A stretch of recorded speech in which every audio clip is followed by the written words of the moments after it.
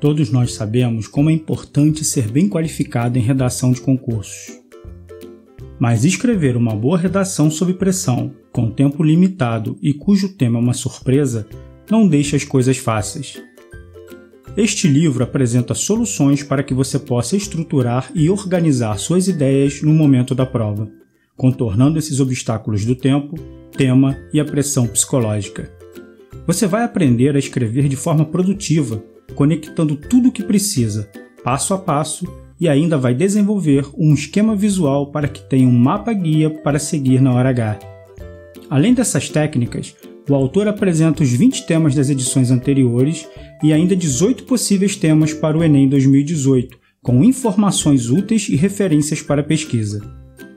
Não perca tempo! Conheça essas técnicas e aprenda definitivamente a organizar, estruturar e escrever de forma efetiva e produtiva.